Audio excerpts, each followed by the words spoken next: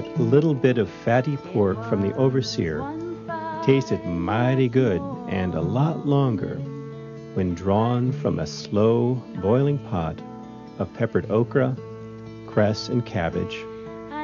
A lot tastier than as a fast chew in one hungry mouth.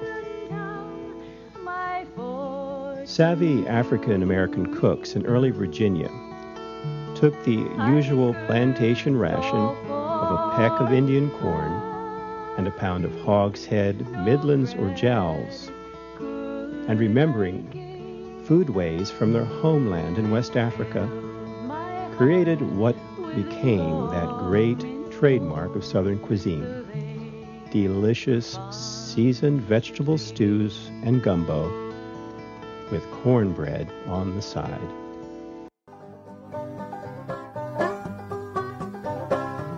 On the morning of the 6th of November, 1855, our travelers again found themselves and carriage in condition to take the road.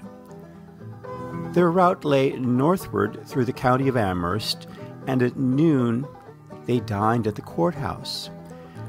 As the roads were heavy and the chances of finding places of entertainment but few, the driver stopped at an early hour in front of a house of rather unpromising exterior. Porte Crayon, who has a facility of making himself at home everywhere, went to the kitchen with a bunch of squirrels, the spoil of his German rifle. He returned in high spirits. Girls, we will be well fed here. We are fortunate. I have just seen the cook. Not merely a black woman that does the cooking, but one bearing the patent stamped by the broad seal of nature. The type of a class whose skill is not of books or training, but a gift, both rich and rare, who flourishes her spit as Amphitrite does her trident or her husband's, which is all the same, whose ladle is as a royal scepter in her hands, and who has grown sleek and fat on the steam of her own genius, whose children have the first dip in all gravies, the exclusive right to all liverds and gizzards, not to mention breasts of fried chickens, who brazens her mistress, boxes her scullions, and scalds the dogs. I'll warrant here there is not a dog on the place with a full suit of hair on him. I was awed to that degree by the severity of her deportment when I presented the squirrels that my orders dwindled into a humble request, and throwing a half dollar on the table as I retreated, I felt my coattails to ascertain whether she had not pinned a dish rag to them. In short, she is the perfect she czar. And may I never bite another corn cake if I don't have her portrait tomorrow. The supper fully justified Crayon's prognosis, and the sleep of our travelers, like that of the laboring man, was sweet whether they ate little or much. With imitation being the highest form of flattery, Mary Randolph wrote in the early 19th century the renowned cookbook, The Virginia Housewife introducing to a Euro American audience for the first time the recipe for turnip greens. So, what's the catch, the secret to this delicious food? Well, these cooks had small private vegetable gardens of their own that they cultivated on their one day off, Sunday. Moreover, they might grind Indian corn to meal and roll it into dough and bake it either on a big frying pan or, as in the early days, on the face of their garden hoe. Of course, Those cakes became known as hoe cakes. Then there might be eggplants, also native to Western Africa, and most probably would be fried in the pork fat too. Or this master cook might coarsely break up the corn and boil it into a pulp, making hominy. So these porridges and cakes or breads accompanied the pot liquor, as we call it, or stewed gumbo, creating by adding pepper, a few squares of fatty salted pork from the smokehouse, and adding all of that into the cooking water of cabbages, cress, pokeweed, or turnip greens. Now, maybe a yam or two would also be baking in the ashes of that very same fire. To wash it all down, another West African native garden giant was the watermelon, which these cooks and gardeners, drawing from their agricultural tradition of vegetable gardens and a high starch diet, would plant and grow, not only as a dessert, but a critical water source during the driest days of summer. Mm-hmm. The hair upon her shoulders in jet black ringlets fell to try to paint her.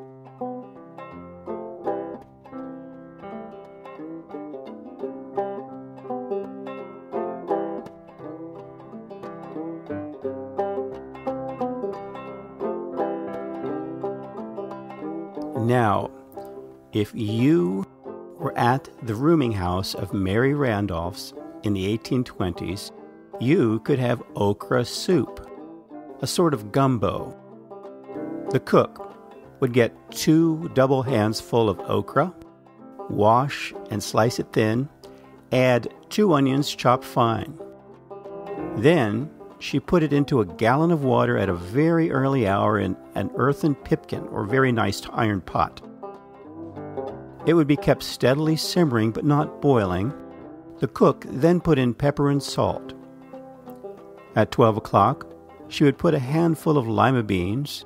At half past one o'clock, she would add three young summer squash, cleaned and cut in small pieces, a fowl or knuckle of veal, a bit of bacon or pork that had been boiled, and six tomatoes with the skin taken off.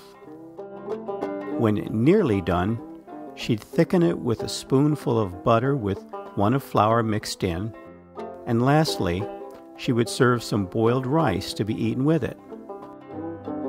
But more often, the cook would accompany the gumbo with cornbread or hoe cake. She would start making cornbread by rubbing a piece of butter the size of an egg into a pint of cornmeal. She'd then make it a batter with two eggs and some new milk, adding a spoonful of yeast. Then the bread would be set by the fire an hour to rise. Then she would bake it in pans lightly buttered. Now, we didn't forget the who or what that was perched at the head of the table in any tableau of Southern cooking a big pile of fried chicken.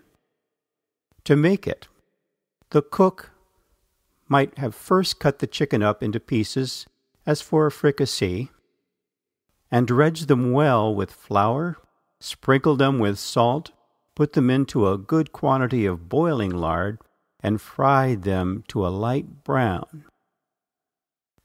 She would also fry small pieces of mush and a quantity of parsley nicely picked to be served in the dish with the chickens. The cook might then take half a pint of rich milk, add to it a small bit of butter with pepper and salt and chopped parsley. She would stew that a little and pour it over the chickens and then garnish it with some fried parsley.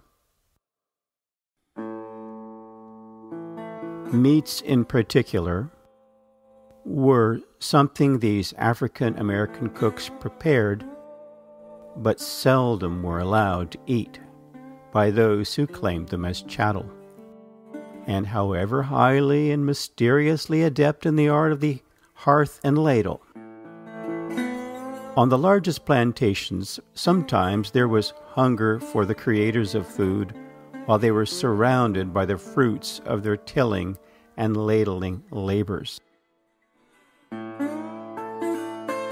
British officer and prisoner of war during the American Revolution, Thomas Anbury, stayed several weeks at Jones's plantation near Charlottesville in 1779 and he wrote letters about what he saw and deduced from observation of the daily routine of African Americans and their overseers.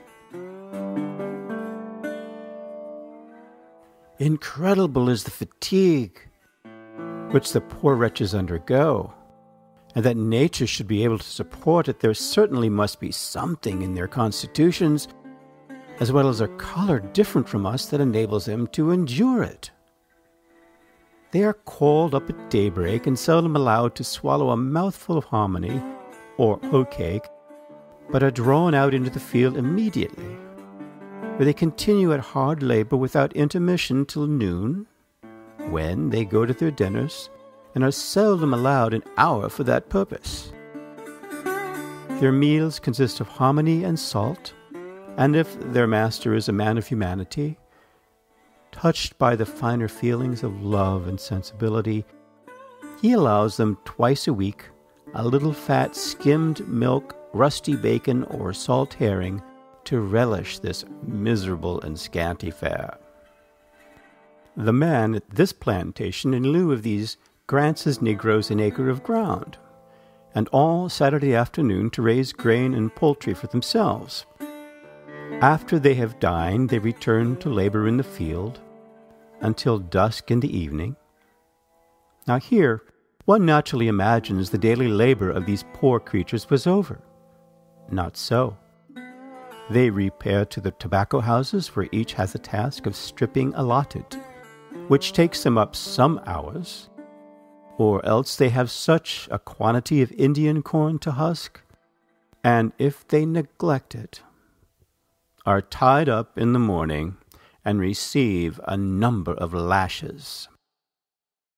The female slaves share labor and repose just in the same manner, except a few who are termed house negroes and are employed in household drudgery. Anbury goes on. Notwithstanding this humiliating state and rigid treatment to which these wretched people are subject, they are devoid of care and appear jovial, contented, and happy. It is a fortunate circumstance that they possess and are blessed with such an easy, satisfied disposition. As I have several times mentioned hominy and hoe cake, it may not be amiss to explain them. The former is made of Indian corn, which is coarsely broke and boiled with a few French beans till it is almost a pulp. Hoe cake is Indian corn ground into meal, kneaded into a dough, and baked before a fire. But as the Negroes bake theirs on the hoes that they work with, they have the appellation of hoe cakes. Now, these are in common use among the inhabitants. I cannot say that they are palatable, for as to flavor, one made of sawdust would be equally good and not unlike it in appearance, but they are certainly a very strong and hearty food.